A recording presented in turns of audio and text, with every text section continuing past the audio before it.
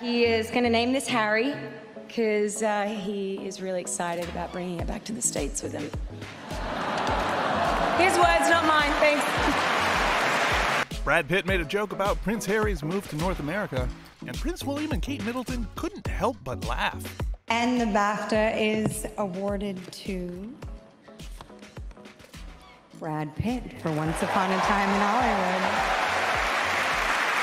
I hate to disappoint you all, but unfortunately, Brad Pitt, I'm also very disappointed, is unable to be here tonight. So to pick up the award on their behalf is Margot Robbie. Brad won the BAFTA for Best Supporting Actor for his role in Once Upon a Time in Hollywood, and though he couldn't attend due to family obligations, he did pen an acceptance speech for his co star Margot Robbie to read. And he didn't pull any punches, even dropping in a zinger about Brexit. Um, okay, he starts by saying, Hey, Britain, heard you just became single. Welcome to the club.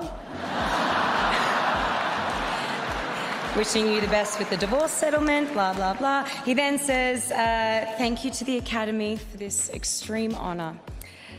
Pitt went on to thank crew and cast, including high praise for director Quentin Tarantino, before closing with his joke about Harry and Meghan Markle stepping back from senior royal duties and moving to North America. Oh, and he says um, that he is going to name this Harry because uh, he is really excited about bringing it back to the States with him. His words, not mine. Thanks.